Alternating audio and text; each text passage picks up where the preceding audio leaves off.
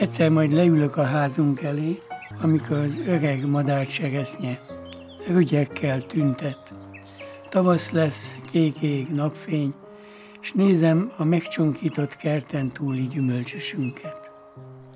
Emlékeimet rakosgatom, Déva vágából kődarab, vadrózsa apám sírjáról, és a sátor helye örökzöldben lüktet. Ülök majd a végtelen múlt időben, a felújított házban, élőadásban, és távkapcsoló nélkül lapozom a jelenünket. Végül csak az arcod magad, és gyerekeink, unokáink arca, és akkor fölragyognak, mint a Mária Pócsi dédmama szemébe, az a lefelé gördülő könycsepp.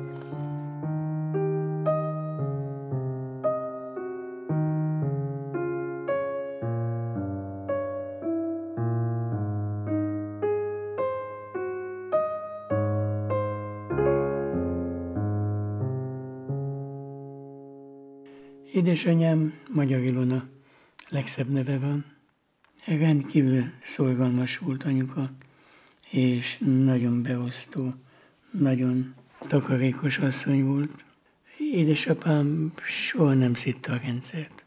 Nem volt otthon valamiféle gyűlölet, pedig lehetett volna, mert erősen megszenvedte édesapám. Csepeli vasmunkás lett tulajdonképpen. Szerencsejátékos lett, függő nem szélsőség, de totózott főleg, meg kártyázott. Volt, amikor elúszott a tévénk is, el képzelni, milyen boldogok voltunk. Volt is emiatt koccanás anyu és apu között, de nekem egy reménykép volt állandóan. Hogy kerültem lakitelekre? Véletlenül írtam 50 levelet, szétküldtem az országba, hogy eh, képesítés nélkül szeretnék tanítani. Álmom az volt, hogy egy tanyasi iskolába, távol a világtól, távol Budapesttől, aztán nekiindultunk lakitelek. Az a gyönyörű, csillogó, értelmes, fényes szem, az engem úgy megragadott. Néhány hónap múlva udvarolni kezdett nekem, és eh, amikor már látszódott, hogy komolyabb ez a, a kapcsolat annál, hogy egy-két hónap vagy fél év legyen belőle, egyszer egy ilyen egymás mellett ülős beszélgetésen azt mondta nekem, hogy könyörgöm, ne szeres. És én ezen nagyon megdöbbentem, és meg is sértődtem szinte. Hát miféle titok lehet, vagy, vagy hát mi oka lehet. Tehát látja, hogy szeretem, én is látom, hogy szeret, hát mi lappanghat el mögött. És aztán elmondta, hogy és hát ahogyan megismertem, tehát én is láttam, hogy ő, ő nagyon nagy önismerettel rendelkezik, és nagyon-nagyon pontosan látja azt az utat, hogy ő mit szeretne, merre szeretne elindulni, és hova szeretne eljutni. És tudta, hogy ha én ezt vállalom, tehát hogyha mi, ha én szeretem, és ha ő esetleg feleségül kér, azt mondtam, hogy igen, akkor nagyon-nagyon nehéz életem lesz.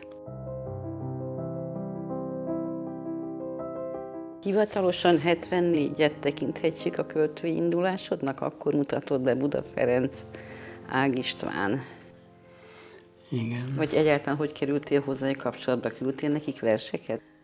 Én így soha nem akartam költő lenni. Mint ahogy direkt vallásos ember se akartam lenni. Mint ahogy direkt nem, hanem ez valahol, valahol alakult, formálódott. Írtam én verset nyolc éves koromban is, tíz éves koromban kecskepásztor voltam, és erről írtam meg ilyeneket. De nem, viszont olvastam nagyon sokat. És én tulajdonképpen aztán 20 évesen annak a nomád nemzedéknek lettem egyik utó harcosa, utóvédője, amit Csóri nevezett el nomád nemzedéknek.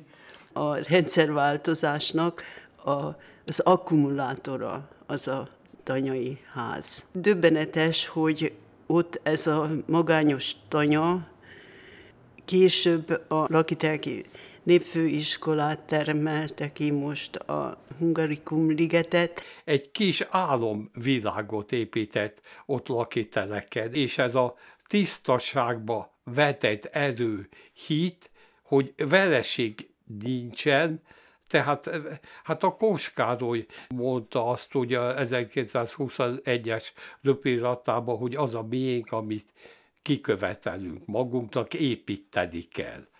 Hát a Lezsák Sanyi egy ilyen, egy ilyen építő alkat.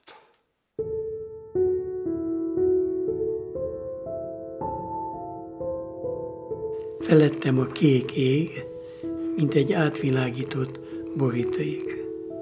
Tudástok rólam ennyit ér, nem sokkal több a semminél.